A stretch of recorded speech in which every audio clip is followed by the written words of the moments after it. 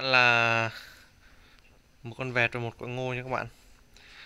Hôm nay tôi sẽ quay bạn xem biết được là con vẹt này nó ăn quả ngô như thế nào. Cho nó phá cho vui thôi.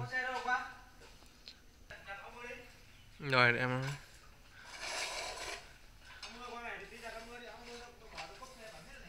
rồi, thì em nói thế nào thôi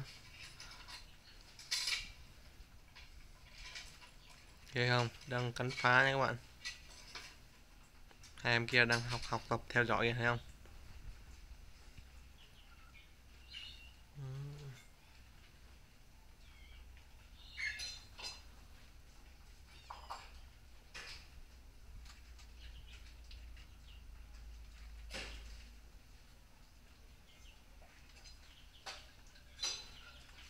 Đây là cách con vẹt nó ăn quả ngon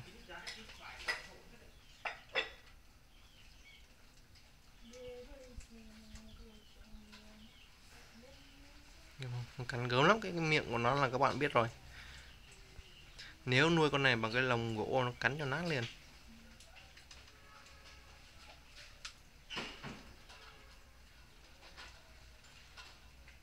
Không ăn gớm các bạn đây là kẻ chuyên ăn ngô nha các bạn.